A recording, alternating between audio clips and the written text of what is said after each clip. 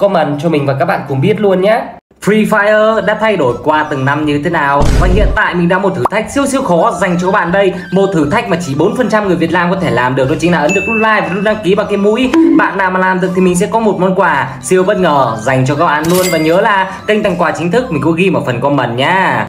Bây giờ chúng ta sẽ cùng xem Free Fire thay đổi qua từng năm như thế nào nhá. Năm 2017 cái thời này là mình bắt đầu chập chững chơi này Nhưng mà chơi trên thiết bị PC cơ. Cái thời này đồ họa cực kỳ là kém luôn chứ không phải như bây giờ. Uhm, Không biết là các bạn chơi Free Fire vào năm bao nhiêu nhỉ? Comment cho mình và các bạn cùng biết nhé 2019 lóc xưởng. Lại một kỷ niệm nữa ùa về rồi. Cái thời này bao nhiêu anh em neo danh để bò lên lóc xưởng? Bao nhiêu streamer đều nổi lên nhờ cái lóc xưởng này. 2020 cổng trời ngày xưa. Có nhà ma nhà nhiều lỗ có lẽ là điều lối tiếc nhất đối với mình là mất đi cổng trời. Không biết là điều luyến tiếc nhất và muốn Free Fire quay trở lại nhất vào năm bao nhiêu nhỉ? Comment cho mình và các bạn cùng biết nhé. Free Fire năm 2030 sẽ như thế nào? Và hiện tại mình đang có một thử thách siêu siêu khó dành cho các bạn đây. Nếu như trong vòng 3 giây bạn nào có thể ấn được nút like và nút đăng ký bằng cái môi ấy thì mình sẽ có một món quà siêu bất ngờ dành cho các bạn luôn rồi, các bạn nhớ comment ID xuống bên dưới để mình còn trao quà nhé. Bây giờ chúng ta cùng xem luôn nào. Cái gì đây? Nhảy dù à? Ui, Trông đẳng cấp thực sự ạ. À. Nhìn cách nó bắn súng lấp lấp lạp đạn kìa, Trông đẳng cấp thế nhờ. Ui, trông nó trượt xuống kìa.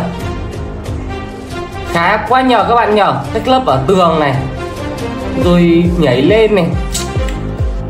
Vai cả trưởng à Cách xuống xe kìa ngầu thế nhờ Hành động của PUBG Mobile và Free Fire giống nhau đến 99,9%. Theo bạn hành động bên nào đẹp hơn? Ấn đăng ký để chọn Free Fire, ấn like để chọn PUBG, mà quên nút like và đăng ký của mình bị khóa. Bố nó rồi, bạn nào mà ấn được like và đăng ký trong 3 giây mình tặng luôn 580 kim cương nhé.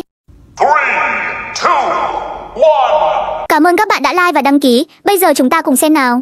Từ trên máy bay ta đáp xuống vị trí. Cũng chính là tâm điểm thành phố Pochinki Vào nhà lốt đồ cầm ngay khẩu mini Tiến thẳng lên Sequel mà chẳng cần suy nghĩ. Kẻ thù ở đâu nhỉ? Tiếng súng ở rồ hot Công qua anh em không để tên nào sống sót Nên né vị trí khu đội cao cảng biển Bị một viên K98 vào đầu kẹo chết liền. Thỉnh rơi ngay giữa cánh đồng lúa Gasca. Những đội bay của quân sự cũng đã dần tiến qua. Đạn bay bị nén theo dòng dẫm thanh phát ra. Càng ngày lại gần hơn các nhãn tinh gà tấn xa. Sau những trận chiến sát thì thuê đầy đồng. Muốn lên đồi sót bò thì các ngươi đừng hòng. Sẽ vẫn chạy vẫn chạy về hướng cha này già lên đồi cao nhất kê những chú nào đi qua.